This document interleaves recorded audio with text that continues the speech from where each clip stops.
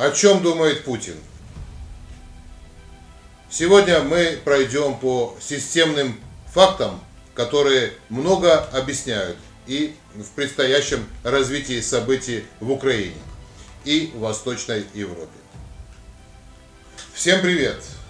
Сегодня я, Давид Жвания, постараюсь донести несколько системных фактов – которые были заложены и создали по сути ситуацию, в которой находится сегодняшнее состояние дел. Всего, что происходит сегодня, избежать было нельзя. Растянуть время было можно, но опять же, не Украина его растягивала, а Россия готовила условия для себя, которые позволили реализовать задуманное. Просто все это время ни Украина, ни ее подельники не предпринимали ничего, чтобы хоть как-то подстелить соломки. Итак, без лишних вводных и тем более обвинений, перейдем к сухим фактам. Все вы прекрасно помните Майдан, и теперь уже многое для вас, если не все, выходит в ранг под сомнением. Что ж, я вам напомню, как много появилось в тот момент каналов коммуникации, как много было потоковых стримов и флешмобов. Вспоминайте, вспоминайте, вспоминайте. Как вас усадили на диван или на Майдан, и события начали разворачиваться, как в сериале. Не находите схожесть с Белоруссией? Как резко там появился канал Nexta и куча пабликов, в которых координировали действия. Так вот, когда западным спецслужбам надо, они могут построить любую платформу для папуасов и создать иллюзию важности с места событий, какую угодно – для кадра и убьют, и похитят, и красиво все снимут. Ответьте мне на вопрос. Вы видите кадры из Киева, из Донецка, из Львова, кроме тех, что снимают наши каналы? Вы видите подготовленные флешмобы, факельные шествия и толпы молодых тетушек в камуфляже с фанерными автоматами и арбалетами в очереди в военкомат. Я не вижу. И вы тоже. Знаете почему? Потому что этого сценария у западных спецслужб нет. Им не нужна картинка. Они могут сидеть в США и просто трендеть. Потому что для них уже очевидно, что оба конца информационной палки бьют им по рукам и сраки нет Нексты и нет Громадского, значит интереса у США к стране нет. Вы прекрасно понимаете, что сейчас тут могли бы бегать американские волонтеры, немецкие журналисты и прочая требуха.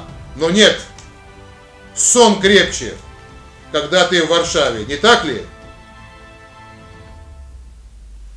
Запомните, главное оружие США – это гадкие СМИ и подкупные журналисты. Их нет, значит и интереса к стране нет. Вспоминаем дальше. Пришел ковид. Всякие там Кириллы, Шевченко принимали самолеты. Наши люди камнями забрасывали автобусы с беженцами из Китая. Напоминаю, это были граждане Украины которые оказались в Китае. И наши люди закидали их камнями. Так вот, тогда, а не сейчас, Зеленский инициировал программу экономического и медицинского патриотизма. Также собрал бизнес из каждого за вход по 50 миллионов долларов. Просто чтобы было на случай, на всякий случай. Дубль 2 мы видим сейчас. Что еще? Непонятно. Странной ситуации зови бизнес и раздевай до нитки. Так устроен мир, ничего личного. Поэтому все эти истории про уникальность программы – это просто фуфло. Просто так деньги на офшорах не оседают, тем более большие. Больше ярда, кстати. Санкции и озабоченность, ну что, Байден озабоченный, мы поняли. То, что Шольц извращенец озабоченный, было понятно. Давно. Про Макрона давно ходили слухи, он их тоже подтвердил. Когда в мире один маразматик и два гомосека пытаются играть роль трех богатырей, тут или постановщик плохой, или декорации не очень. Конечно, санкции обсуждать глупо. Это просто слово для текста в интервью. Что-то посерьезнее придумать, а? Сложно? И я говорил об этом неоднократно. Интересно другое. Мощностей у США нет таких, чтобы в 2-3 раза поднять добычу сланцевого газа. Мощностей для перевозки тоже нет. Нужно 3-5 лет и рост экономики, чтобы как-то достичь результата. Но пока все, что получит Европа в ответ на санкции, это газ по 2000 евро. Что ж, похоже, кто-то забыл лопату. А Шольц случайно сел на черенок. Ну, так бывает. О чем думает Путин, Владимир Владимирович Путин? Ну, во-первых, о несправедливости на Олимпиаде. Во-вторых, о необходимости правильно подготовить жилье для беженцев и обеспечить страну правильными пассивными работами. Об Украине он не думает. Уже давно. Он передал план военным и чиновникам. В плане есть задачи, цели и дата выполнения. Также есть примечания, когда отчитываться по достигнутым целям.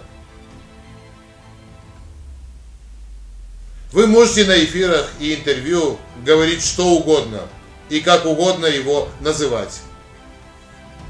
Но он прекрасно знает, что его люди будут работать по инструкции и докладывать и выполнять задачи. Поэтому можно дружить фракциями, делать разные там переодевания и свингерские политические чтения. Но нельзя не понять, не узнать, не помешать планам, которые уже не у Путина, а у генералов. Приказ обратной силы не имеет. Сколько бы вы текста не написали в комментариях и сколько бы дизлайков не поставили. Ваша глупость и невежество – причина тотальной неизбежности предстоящих событий. Обратите также внимание, он не сказал, буду, будут осуждены, будут наказаны. Он сказал очень просто, будут покараны. Что это значит?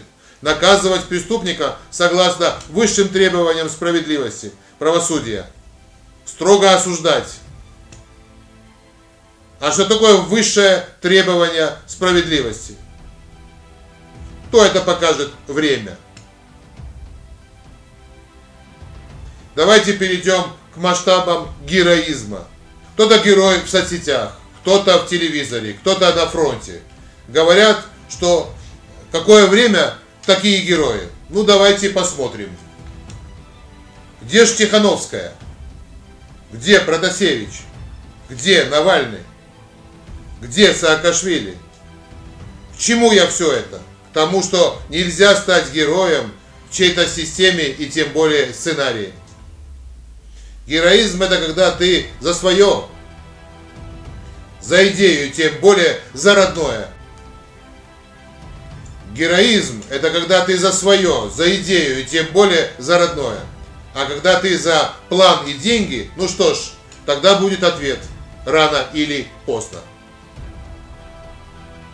Поэтому весь героизм, увидите, счет э, стечет в штаны и будет оставлять двойную прерывистую разметку по полу. Кстати, Протасевичу еще повезло. Его спасли. Жизнь спасли. Еще и помиловали, как дурачка. А так бы замочили и скинули в яму с червями, как ненужный отработанный материал. Подумайте, таких Протасевичей много. Что с ними-то будет? Пока не поймали, пусть мамка уши надерет, а батя ремня даст. Что ж, еще стоит добавить.